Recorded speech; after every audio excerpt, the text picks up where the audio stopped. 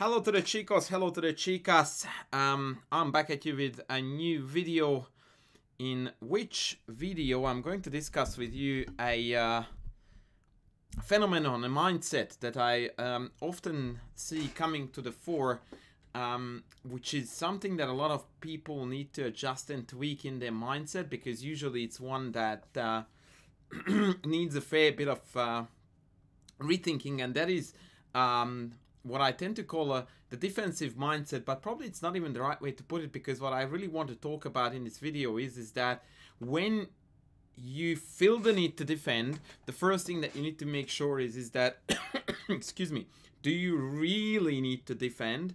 And two, if you choose to do so, then what are the appropriate measures um, to actually engage with defense at the expense of continuing your plans or whatever the case may be. But predominantly, um, we are going to actually look into the big, big question of do I even need to defend?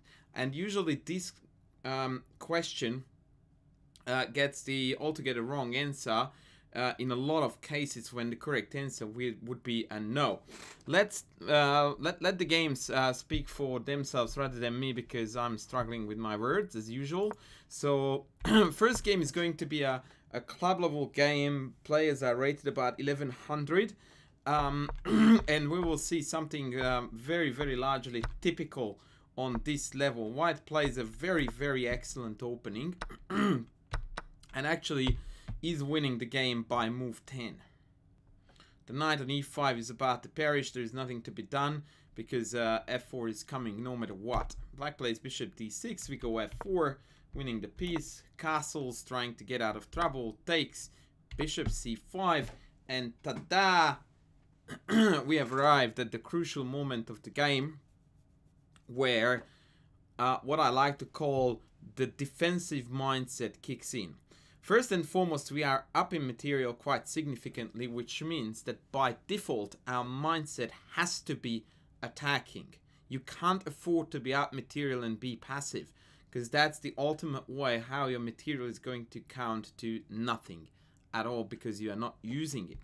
So, the excuse me, the knee-jerk reaction, what I like to call this phenomenon, is right now kicking in when our opponent plays bishop c5 and we see this very annoying, not at all, uh, discover check pending and so we instantly go king h1. And anytime I see this, the first question I like to ask is that what was black threat in this position? And almost exclusively the answer is d3 check. And I'm like, what is d3 check threatening with exactly? And even after I'm asking this question, often people don't understand where I'm going with this because it's so apparent with the D3. Oopsie, wrong button, sorry. Um, yeah, D3 check is the threat. I'm like, what is the threat with D3 check?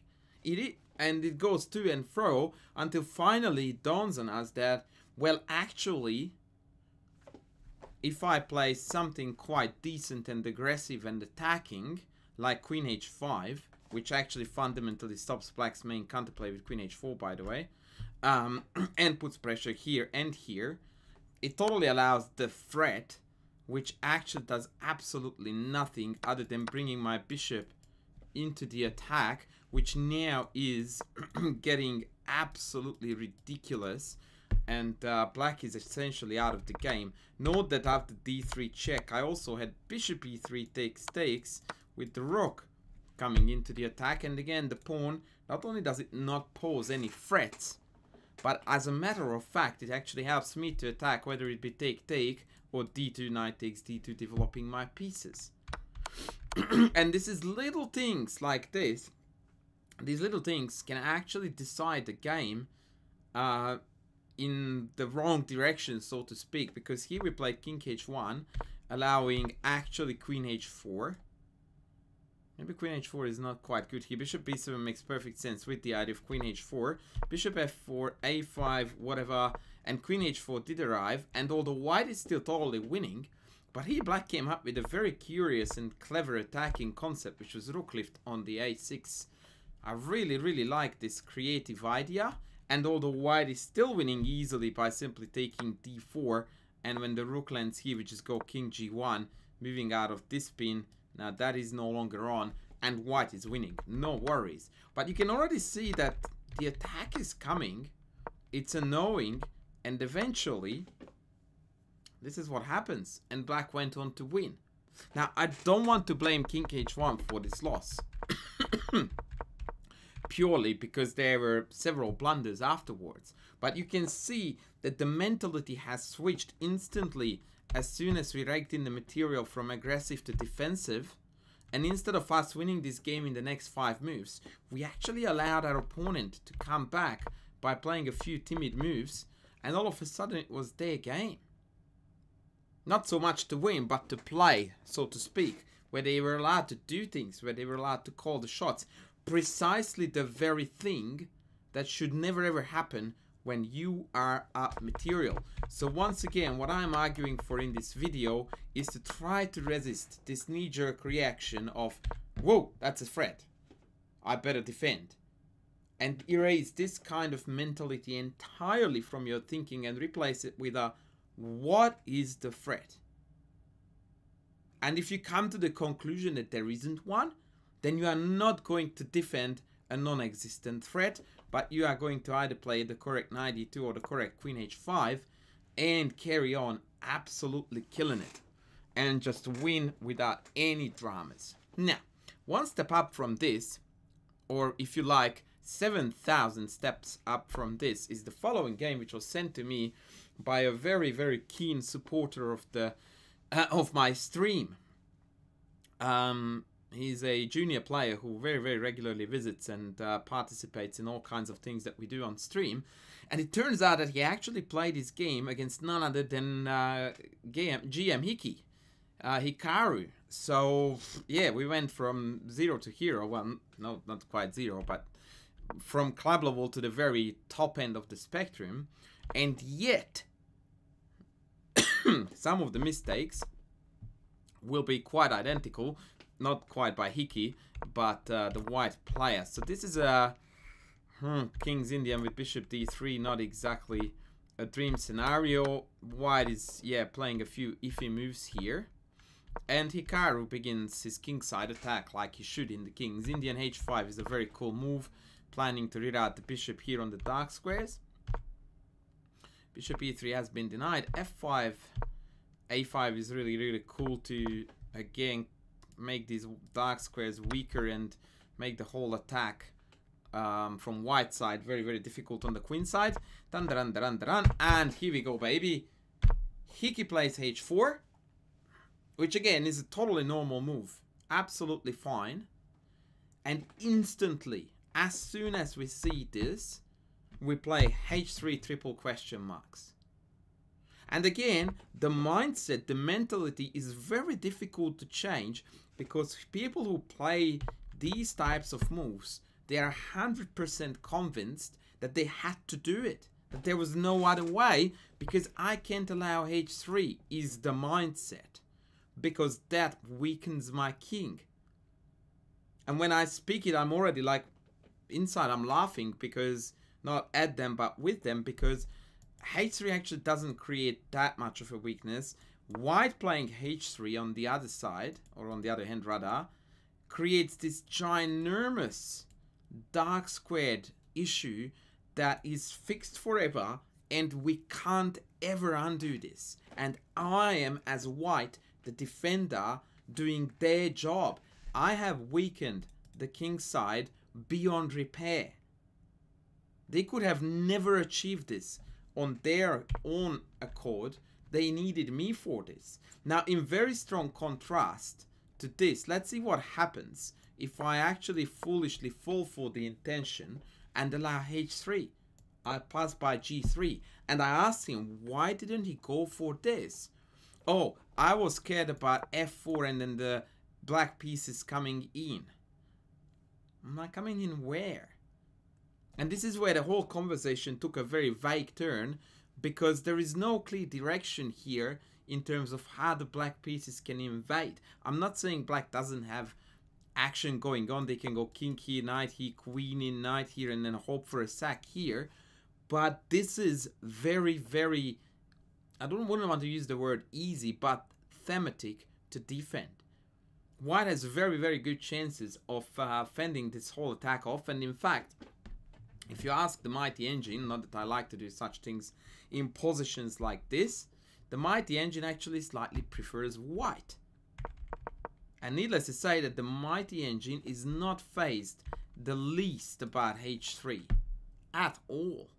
In fact, it doesn't even reckon with black wanting, wanting to play h4. So if I play a, a pass move like bishop c2, the engine moves out bishop f4, which again is designed to try to soften the dark squares or take on e4, which I kind of also dislike. I'm pretty sure that Hiki, he would have played something like this, this, this, this. This is what's known for humans to be a sensible plan to read out this knight and again play on the dark squares.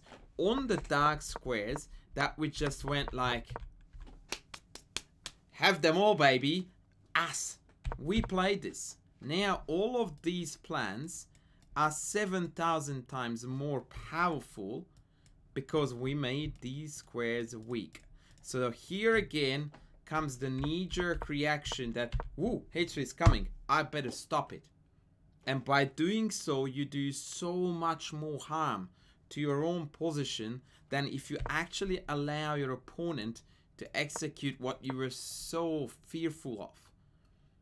Because here, and that's the other thing, that this pawn chain is still malleable. It's not rigid. So I can still push this way, still push this way. And I can retake with a pawn. On the other hand, this is entirely fixed and rigid. It can't move. None of these guys are moving anymore. And there are humongous gaps in between them.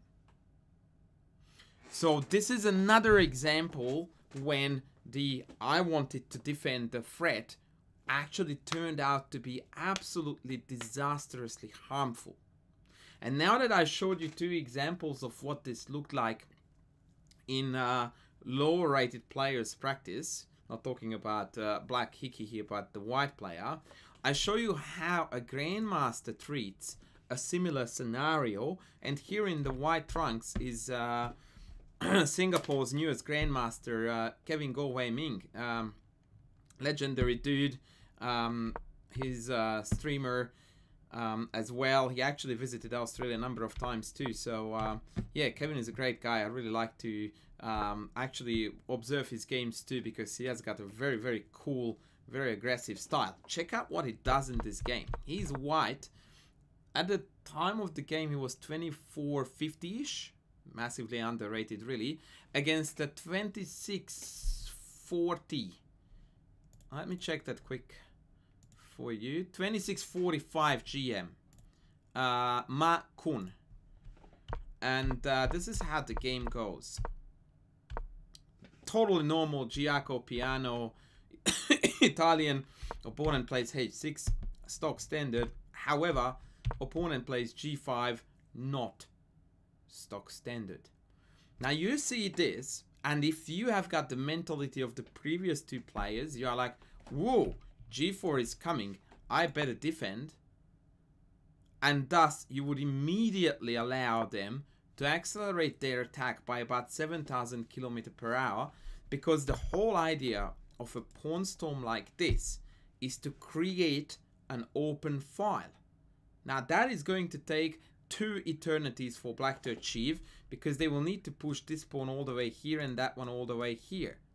So that's actually let me count that for you because I like those counts. So that's one, two, three, four, five pawn moves. Not really realistic, is it? Five moves. Instead, now the knee-jerk reaction of let's stop this makes it happen in one. Or if I really want to be very strict with myself, in two and that's all. So what does the Grandmaster do when he sees this? He goes like, meh. You're not meant to do a wing attack when your king is in the middle. And so what I'm going to do is that I'm going to strike in the center as soon as I can. He first reshuffles the knights, which I quite liked. 93 is now really, really well placed.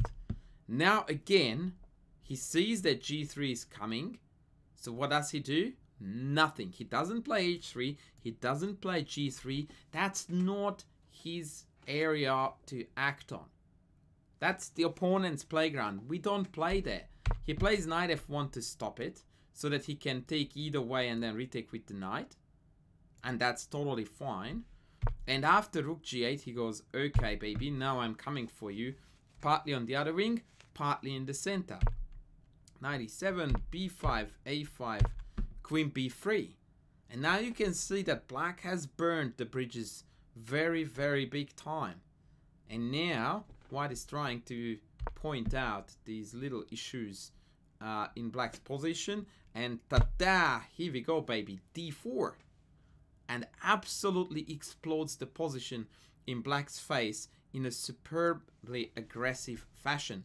Note that both pawns are hanging and we care about neither because this is how good chess is played. There is an attack coming at you here, which in this case is unsound. Hiki's attack was totally spot on. And so the correct reaction was to ignore. Not the instant defend, defend, defend, or else these pawns will take me by a landslide. On the contrary, let them come. And in the meantime, he just engineered a brilliant counterplay. I didn't even get into analyzing this game too deeply, but um, for example, here after takes knight f5 is uh, looking absolutely magnificent. Knight takes, pawn takes, king f8 pins the exchange here. That's very nice. and if bishop takes, pawn takes, um, this is looking uh, particularly juicy. Again, the open file, the bishop coming here. I would not want to, I wouldn't want to be black here, man. That much is certain. If d5, what's the punishment for d5? Bishop a3. Wow. And just casually retake on c4. Oh my word. Wowzers. Kevin Goh, you beast.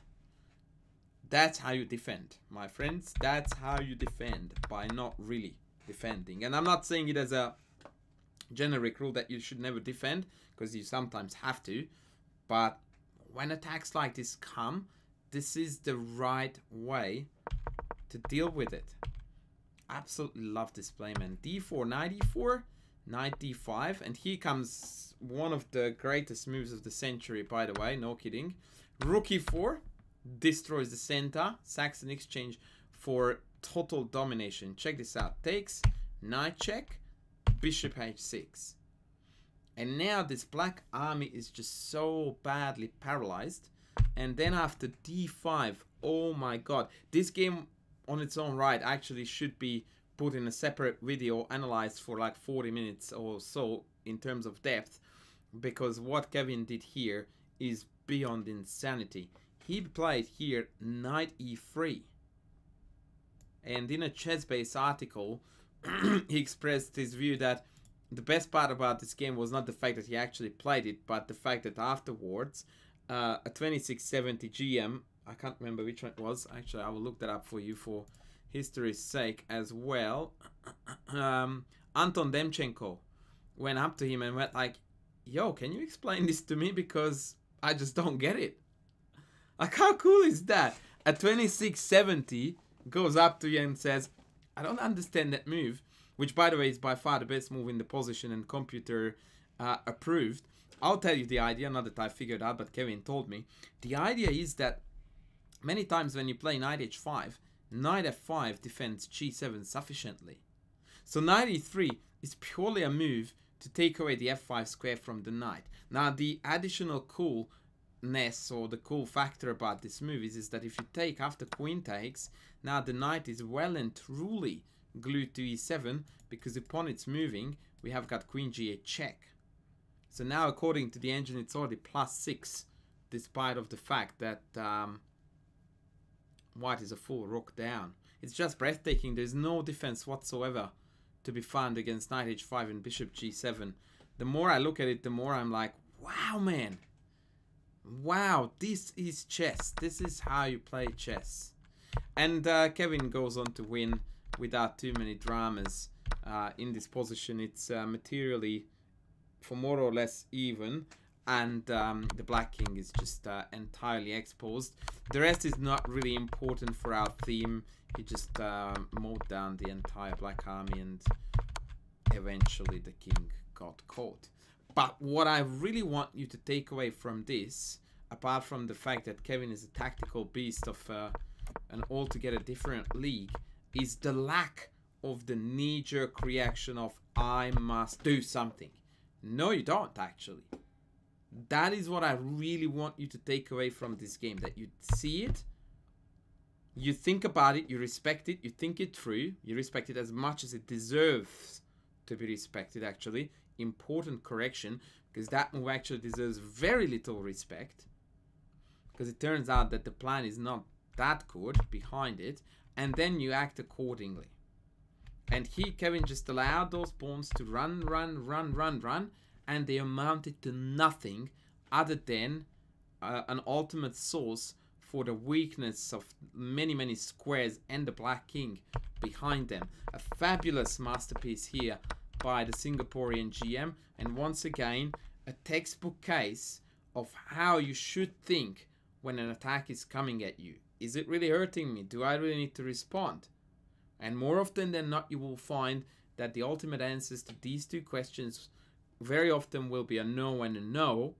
And then your reaction should be like this one was, uh, where Kevin went absolute nuts and uh, destroyed his 2600 rated um, opponent. So, no more knee-jerk reactions when it comes to defending, guys. That's the big message from uh, today's video. I hope you liked it, and I will be back with more later. Thanks for watching. Bye.